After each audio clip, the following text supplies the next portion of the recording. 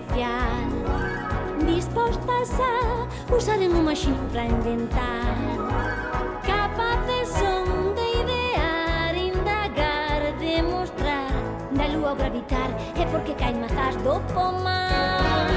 Para medir o tempo que ahora tarda en pasar. É predicir no inverno neve sol en verán. Un esplendor sen igual tan radiante ofrece benestar e ansias de soñar.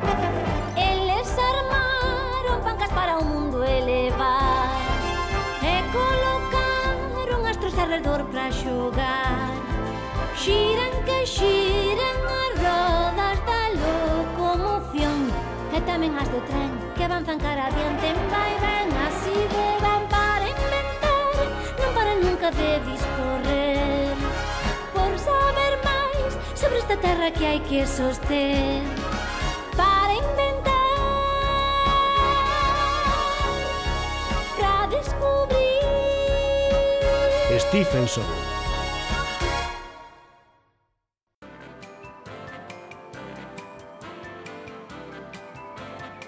Mm. Ai, o vapor. Sabedes que hai pouco tempo que o home sabe utilizar o vapor. Dous séculos de nada, como moito.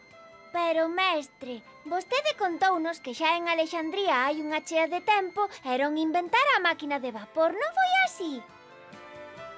Xa verás, os gregos outra vez. Alexandría non está en Grecia, está en Exipto. É certo, pero o invento de Herón non tivo ningunha aplicación práctica, recordade, rapaces. É unha máquina de vapor.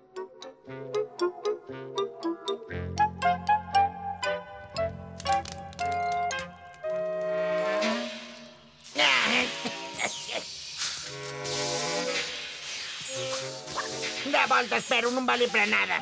É verdade, non valía para nada. Ñas. Ei, ei.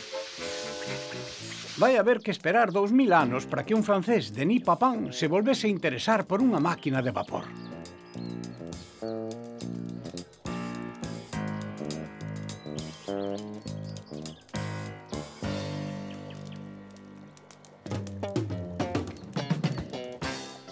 Vaya, eh, o vapor ten forza. Ai, ui, oi, ah! Oi, oi. Pois é certo que ten moita forza.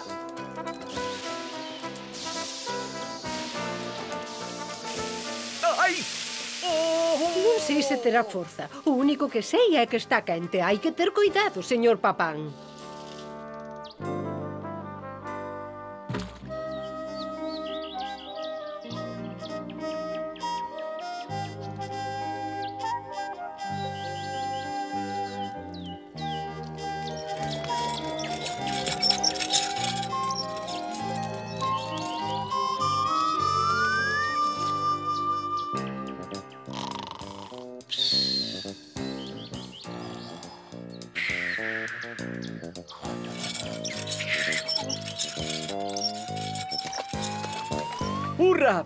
inventei unha máquina que utiliza a forza do vapor.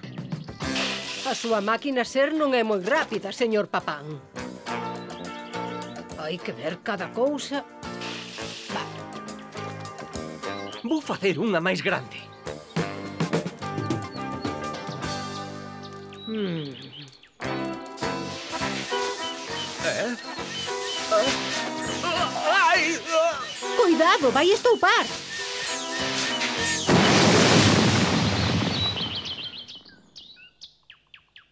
Xa está, xo entendín. Faille falta unha válvula de seguridade. E agora dalle por cociñar, señor Papán. É que inventei unha cousa. Observe estas cenorias, van cocer a toda velocidade. Hmm. Deus santo, iso que é? Unha ola de presión, as cenorias xa están cocidas. Non precisan moito máis tempo. é certo, desta volta, señor Papán inventou algo útil por unha vez. Sí, rapaces, o que nos queda de Dení Papán é a ola de presión. Pero as cousas van cambiar e vai haber unha verdadeira explosión, podedesme crer.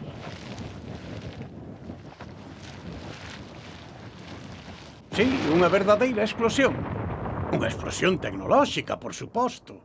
A primeira máquina de vapor industrial inventará Newcomen, un inglés.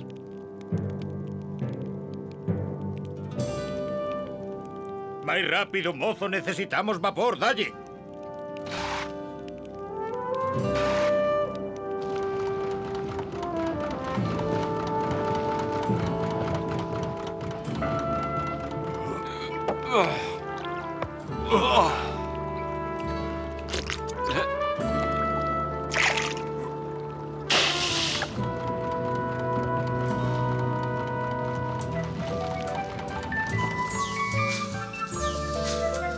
Esta máquina non é rendible, aseguro yo, malgasta o carbón. E daquela que, profesor Watt? Na nosa terra, en Escocia, non nos gusta malgastar. Fíxese en todo este vapor que se perde. Non podemos facer nada. Claro que sí. Mire. Non vexo nada, é moi pequeno. Porque tamén hai que aforrar papel. Non entendo nada. Xa verá. Vapor.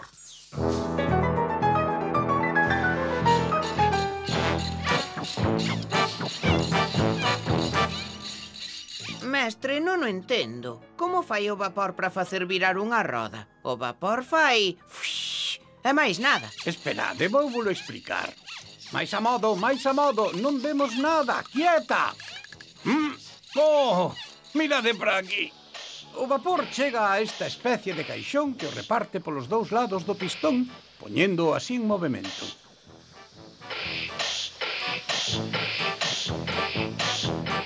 Entendéstelo?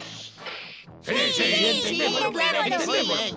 E este motor vai revolucionar o mundo. Chu, chu. Moi ben, rapaces, moi ben. Chu, chu. Pronto se van inventar as máquinas de vapor. Aquí temos o francés Quiñó de o seu carro. Así que pensa, señor Cuñot, que a súa máquina pode transportar ese canón tan grande, non si? Xo verá.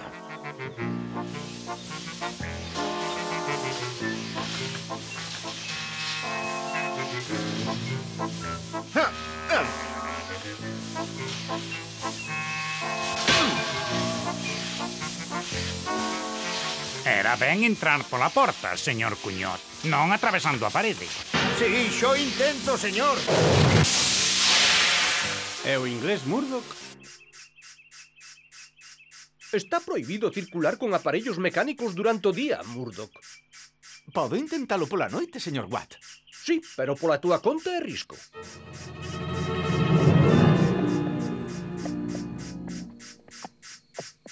Jesús.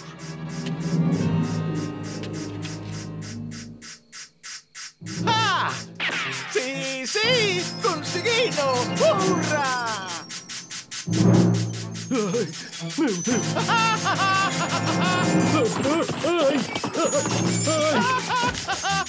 Ai, é o demo, é o demo que me persegue.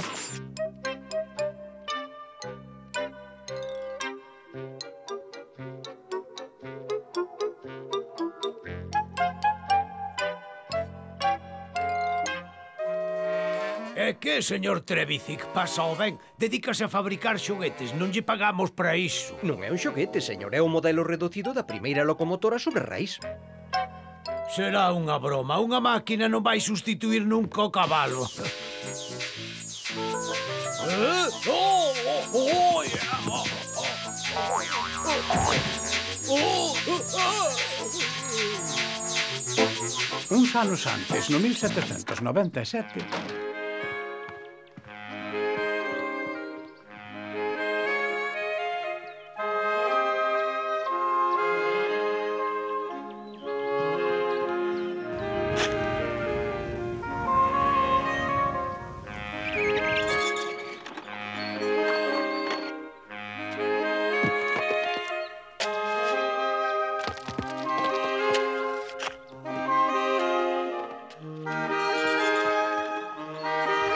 Pareceme que teño unha idea.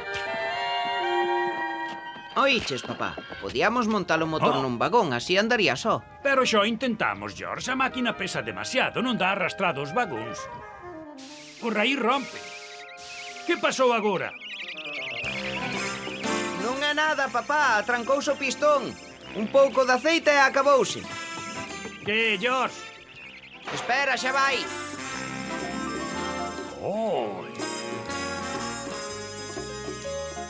Moi ben, fillo, sei que entendes de mecánica. Papá, vou fabricar unha locomotora de verdade, pero para iso vou precisar un taller. Pareceme que o podo amañar. O primeiro tren público sobre raíz que vai circular en Inglaterra estará tirado por cabalos. Non era un tren de verdade. Un tren ten que ter unha locomotora. É certo, pero logo vai haber tamén locomotoras.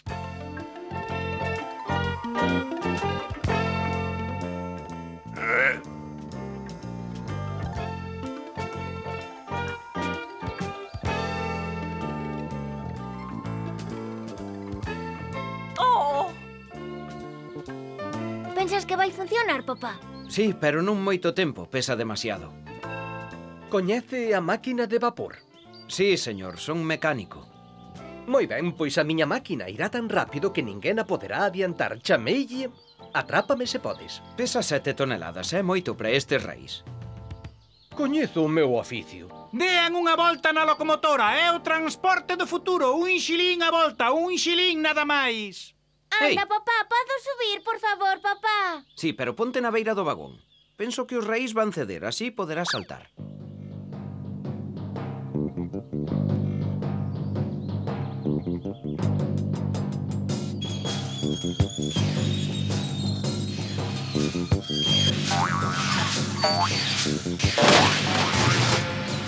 Teña razón, papá. Robert.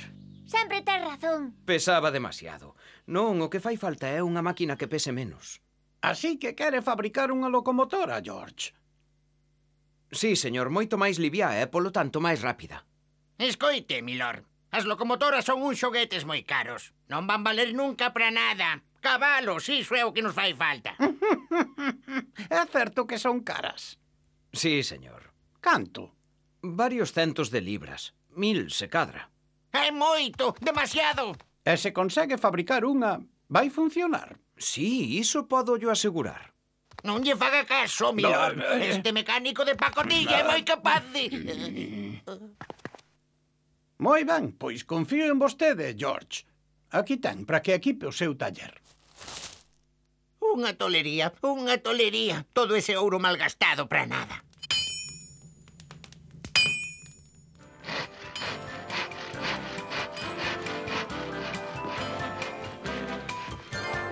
A madeira pesa pouco e fará que a caldeira sexa máis sólida. Mira, fíxate niso. Ves eses dous cilindros? Pois esas barras transmitirán o movimento dos pistóns directamente ás rodas. Pero ti, Robert, tes que estudar para seres enxeñeiro. Así co tempo poderás me axudar.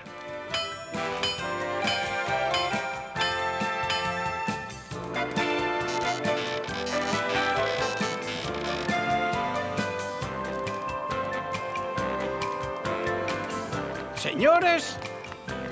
Hola. Co tempo que hai que se intenta construir locomotoras e non dan funcionado nunca. A contabilidade é catastrófica. Os salarios, a compra do aceiro, a reparación das forxas, os estragos causados polas explosións...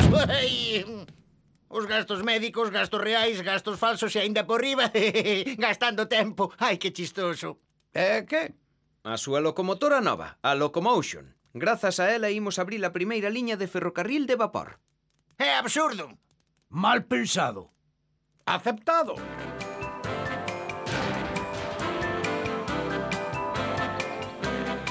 George está seguro de que a locomotora estará acabada a tempo. Completamente. Confiei os talleres ao meu fillo. Podemos confiar nel. O tren vai funcionar. O tren vai funcionar. Vostede conte con iso, milor. non nos van facer falta. Iso espero, iso espero, porque hoxe vais a xogar o futuro do ferrocarril.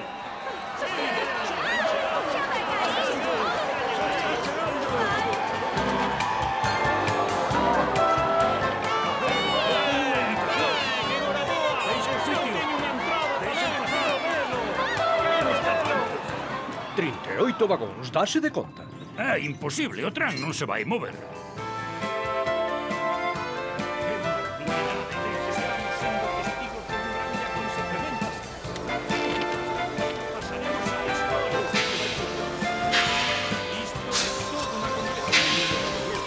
¡Úsala!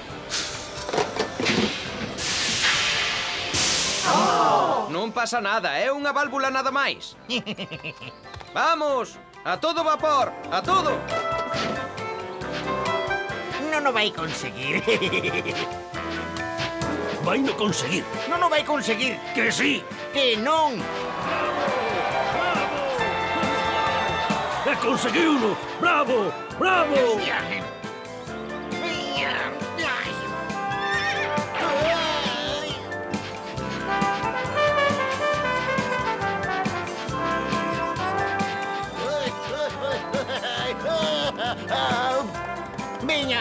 Rápido, máis rápido. Hai nos que alcanzar e adiantalos. Aumenta a presión.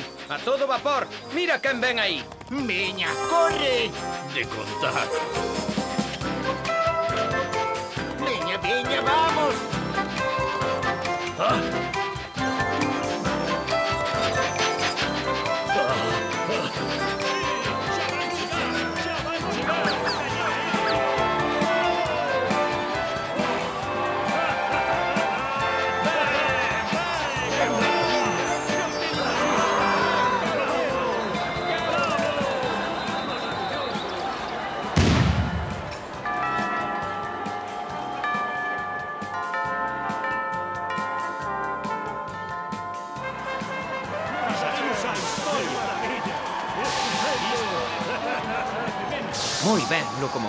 Conseguímolo, ganamos.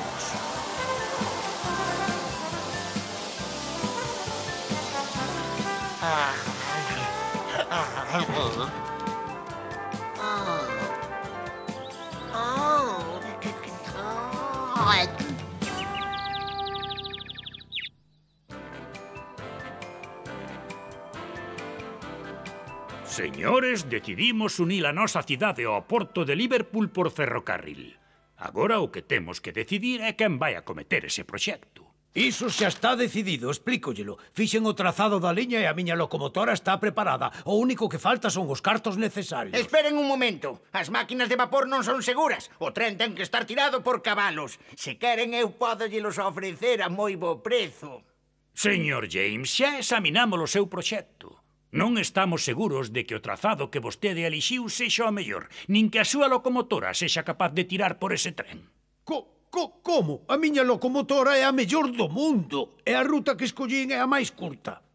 A toda agora, a única liña de ferrocarril de vapor que funciona é a que fixo George Stephenson. E pedímoslle que viñese.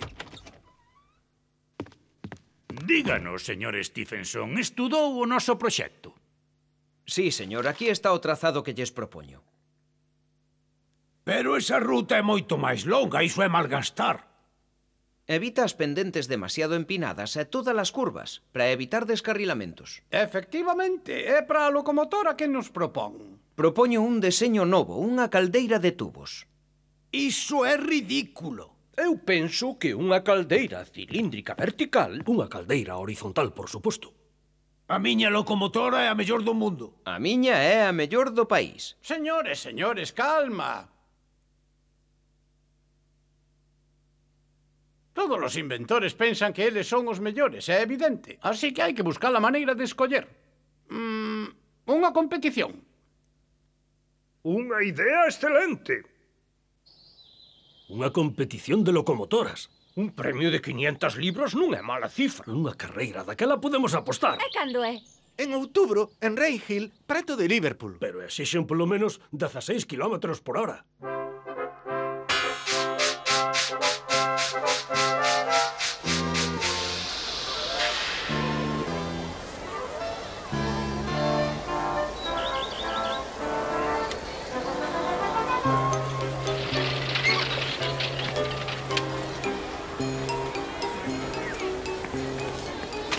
Agradézolle que nos concedera o honor de aceptar a nosa invitación. ¿Eh?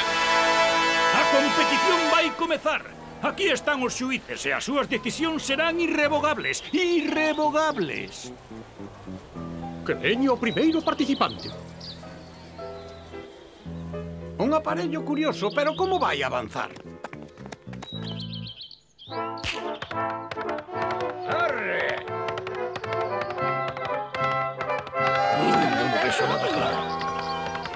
Freude an inclusión. Oito kilómetros por hora. Señor Brandes, pensamos que o seu aparello non é unha máquina de vapor. Como que non veñen a ver? E logo isto non é vapor, non é vapor. Ah, mm. Sí, é vapor, pero de todas as maneiras, a súa velocidade media non pasou dos 8 km por hora. E o mínimo para a competición fixouse en 16 queda eliminado. Se o chego a saber, veño con dous cabalos. O seguinte... Parece un saltón. E eh, son zancos ou muletas? Lonxe non vai chegar, iso seguro.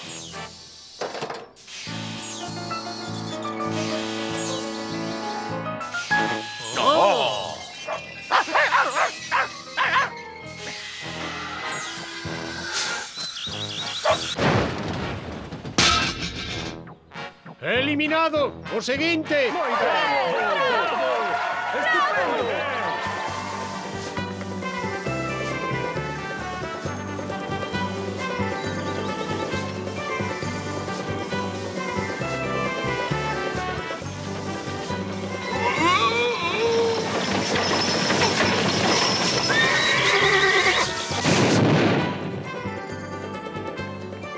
Eliminado! O seguinte!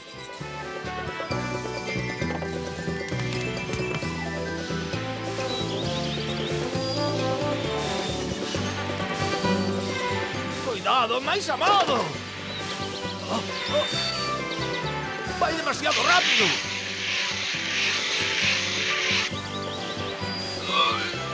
Oh, oh, oh.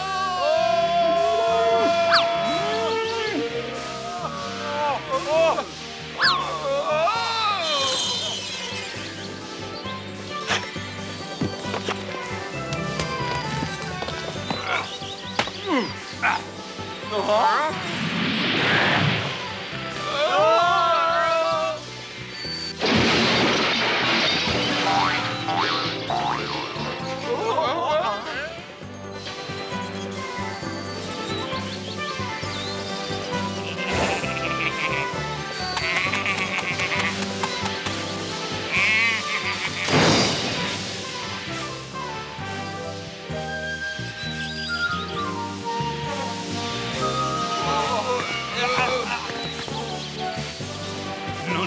Alcanzar na vida. Mellor nos vai ser. Mira.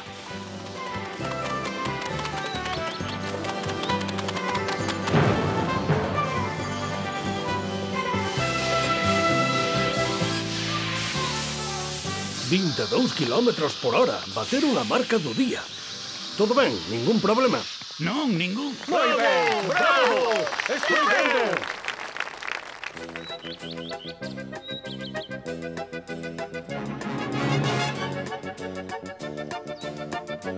Un momento, amigos. Preparados para sair? Preparados? Eh, mire, non terán un sitiño para min. Pois claro, suba. Vamos logo. Adiante! ¡Venga,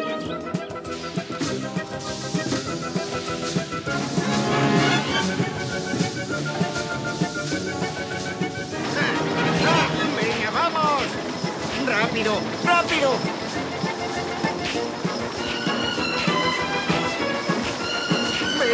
¡Más rápido! ¡Ah! ¡Ah! ¡Ah!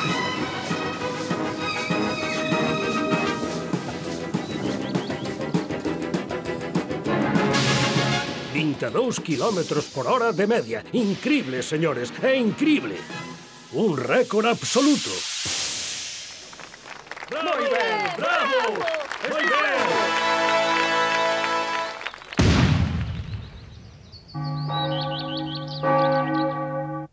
serán os días gloriosos do ferrocarril de vapor e o ano seguinte inaugurarán a vía Manchester-Liverpool. En poucas décadas o ferrocarril estenderase de maneira considerable por Europa e despois por América, onde abrirá as chairas do oeste. Mm, onde estábamos? Ah, sí, sí, Stephenson, cunha locomotora que alcanzara os 30 km por hora. Hoxe en día... Hmm, Iso que é? Que é? O tren de alta velocidade, que vai a 300 por hora. Sí, e poida que dentro de pouco chega aos 500 km por hora. Les découvreurs façonnent pour nous des mondes meilleurs. L'œil vers le ciel, leurs pensées vagabondent ailleurs. Tourne manège des étoiles, des planètes, des comètes. Voici que l'homme décolle, il va quitter le sol. Mes paroles, c'est qu'il s'envole nous vers d'autres firmaments. Car pour l'homme, n'en est qu'au début de son roman.